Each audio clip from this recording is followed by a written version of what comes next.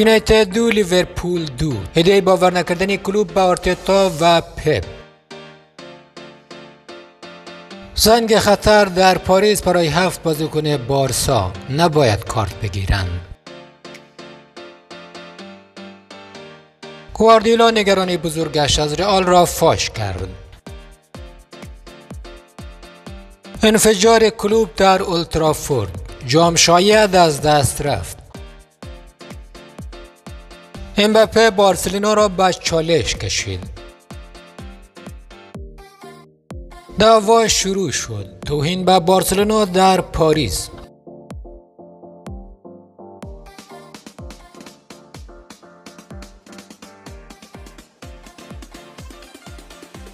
اتفاق عجیب در فوتبال ترکیه سوپرجام این کشور فقط چهار دقیقه برگزار شد.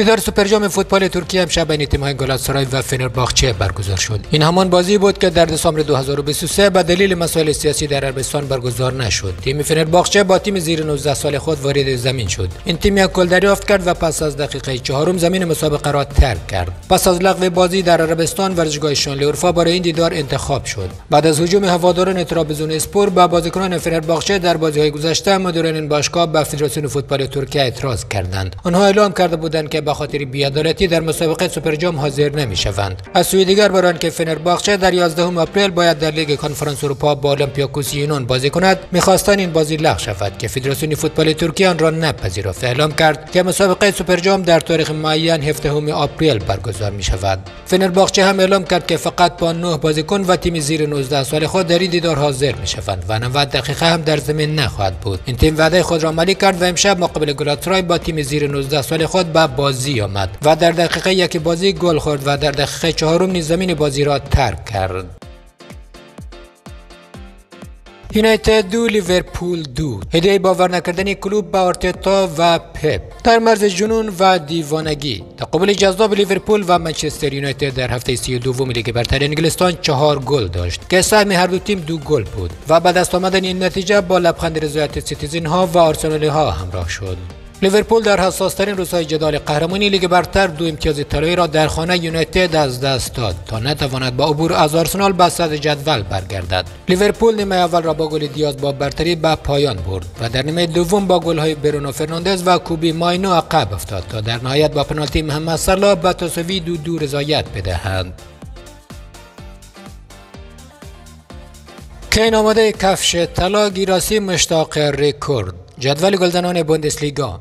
گلزن شاخص این فصل اشتوتگارت با گلزنی مقابل بروسیا دورتموند با رکورد ماریو گومز برابری کرد. عصر شنبه اشتوتگارت در هفته 28 بوندسلیگا دست به کار بزرگی زد و دورتموند را شکست داد. این برد از آن جهت بسیار با اهمیت بود که اشتوتگارت در امتیاز 60 با بایرن مونیخ توخل برابری کرد و آنها تنها به خاطر تفاضل گلی کمتر در رده سوم قرار گرفتند. سرهو گیراسی گلزن برجسته این فصل بوندسلیگا تنها گل بازی را برای اشتوتگارت به ثمر رساند تا تعداد گل‌هایش در این فصل را به عدد 24 برساند و با ماریو گومز مهاجم سابق اشتوتگارت و تیم ملی آلمان در یک فصل برابری کند. البته گراسی هنوز 8 گل دیگر از هریکین است نشین جدول بهترین گلزنان بوندسلیگا که تنها نقطه روشن این فصل بایر مونیخ به حساب میآید عقبتر هست. اما او 6 بازی کمتر از کین انجام داده و در 22 بازی 24 گل به ثمر رسانده است. با این وجود به نظر می‌رسد به موازات جنگ نایب قهرمانی اشتوتگارت و بایر مونیخ جدال بین کین و گیراسی برای آقای گلی هم جذاب باشد. آخرین وضعیت مصدومیتی دیونگ، پدری و کریستنسن برای بازی با پاریس سن ژرمن روزنامه موندو دیپورتیو اقدام به بروز رسانی وضعیت مصدومان بارسلونا برای بازی با پاریس سن ژرمن بر اساس آخرین تمرین کرد. بر این اساس پدری دیونگ و کریستنسن روز گذشته بدون مشکل تمرین کردند اما فرانکی دیونگ به طور کامل در جلسه تمرینی حضور داشت و احساس آمادگی می‌کرد در حالی که پدری و کریستنسن تنها در بخش از تمرین شرکت کردند گفتنی بارسلونا حداقل دو جلسه تمرینی دیگر تا پیش از بازی با پاریس سن را برگزار خواهد کرد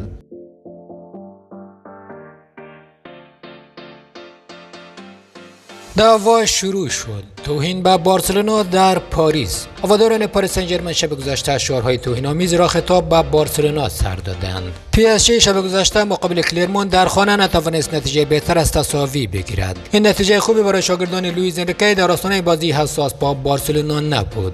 اما آنها امیدوار هستند که شرایط در این دیدار برایشان متفاوت پیش برود. اتفاقی که در جریان این بازی رخ داد این بود که هواداران پاریس سن ژرمن که پیش از این نشان دادند که قابلیت ایجاد دردسر پیش و پس از بازی های مختلف را هم دارند شعارهای را علیه بارسلونا در ورزشگاه سر دادند که چندان به مذاق این تیم خوش نیامده است. آنها سرودهای توهین آمیز خطاب به بارسا در جریان بازی برابر کلرمون سر دادند. تا مشخص شود که این بازی چه در زمین و چه روی سکوها بسیار حساس خواهد بود و باید منتظر تماشای دیدار جنجالی باشیم. گواردیولا نگرانی بزرگش از رئال را فاش کرد. پپ گواردیولا در پایان بازی با پالاس گفت که بزرگترین نگرانیش در مورد رئال سرعت بالای مهاجمان این تیم هست. منچستر سیتی دیداری که دیشب ابتدا عقب افتاده بود را با چهار گل برنده شد. سیتی در زمین پالاس ابتدا یک گل خورد و سپس چهار گل زد اما در دقایق پایانی یک گل دیگر نیز دریافت کرد. سیتی هر اندازه در خط حمله خوب کار می کند ولی در خط دفاع متزلزل نشان داده و این در بازی بزرگ سهشنبه شب برابر رئال مادرید می تواند برایش گران تمام شود. در نشست خبری بعد از بازی یکی از خبرنگاران از پپ در مورد ضعف دفاعی تیم در آسانه بازی رئال سوال کرد. برای بیسپانوی نیز پاسخ داد بله. من می‌دانم برابر پالاس در دفاع خوب نبودیم و از دلیلش هم مطلعم ما باید سریعتر این مشکل را حل کنیم و در غیر این صورت برابر رئال شب سختی خواهیم داشت. رئال مادرید بازیکنان با کیفیتی دارد و ونگرهایش فوقالعاده سرعتی هستند. این واقعا نگران کننده است. رئال در صورت انتقال توپ از دفاع به حمله با خاطر بازیکنان سریعش عالی کار می کند و ما باید فکر برای این قضیه کنیم. فراتر از یک باشگاه ششگانه در تیررس بارسا. گزارش موندو دیپورتیوو بارسلونا همچنان این شانس را دارد تا در فصل جاری در شش رقابت مختلف ورزشی قهرمانی اروپا را کسب کند. بارسلونا فقط یک باشگاه فوتبال نیست و در ورزش های دیگر نیز تیمداری می کند بارسا تیم های قدرتمندی در فوتبال بسکتبال هندبال هاکی و فوتسال دارد که همگی نیز مدعی قهرمانی در رقابت های خود هستند. جالب این که بارسلونا امسال این شانس را دارد تا در شش رقابت اروپایی عنوان قهرمانی را کسب کند و به عبارت برنده ششگانه تاریخی شود. تیم فوتبال بارسلونا در یک چهارم نهایی لیگ قهرمانان به مصاف پی اس جی خواهد رفت. جالب این که در هندبال نیز حریف بارسا در یک چهارم نهایی پی اس جی هست. در فوتبال زنان بارسا به نیمه نهایی لیگ قهرمانان رسیده و دو بازی حساس برابر چلسی پیش رو دارد. در فوتسال رقیب بارسا در یک چهارم نهایی اسپورتینگ لیسبون هست و همین تیم در هاکی نیز رقیب بارسا خواهد بود. بارسا در بسکتبال نیز به پلی آف رسیده و منتظر مشخص شدن نام حریفش است فنرباخچه یا اولمپیاکوس بارسا در صورت برتری به جمع چهار تیم برتر را خواهد یافت. فراخوان وینیسیوس به هواداران رئال همه سفید بپوشید. وینیسیوس از هواداران رئال که بلیت بازی با سیتی را تهیه کردند و در برنابئو حاضر خواهند بود خواست که پیراهن سفید بپوشند. هواداران رئال می‌دانند که کسب یک نتیجه خوب در بازی رفت برابر سیتی بسیار مهم است زیرا رئال مادرید هرگز نتوانسته در زمین سیتی برنده شود. رئال باید بازی رفت را با نتیجه خوبی برنده شود تا با روحیه مثبت به اتحاد برود. هواداران یار دوازدهم رئال خواهند بود و می‌خواهند تا جایی که می‌توانند فشار بیاورند تا میهمان را تحت تاثیر قرار دهند. هدف سفید کردن کل سکو هاست. هفته قبل در جریان بازی با بیلبائو دو آتشه ها از طریق بنری این درخواست را مطرح کردند. 9 4 2024 برنابئو با لباس سفید. ابتکاری که با استقبال خوبی از سوی رختکن رئال مادرید مواجه شد و حمایت وینیسیوس در شبکه‌های اجتماعی را به همراه داشت. دیشب وینیسیوس در همین رابطه توییت کرد و خطاب به هواداران نوشت سفید بپوش و از تیمت حمایت کن. انفجار کلوپ در اولدترافورد. جام شاید از دست رفت. آرتتا و پپ امشب جشن گرفتن.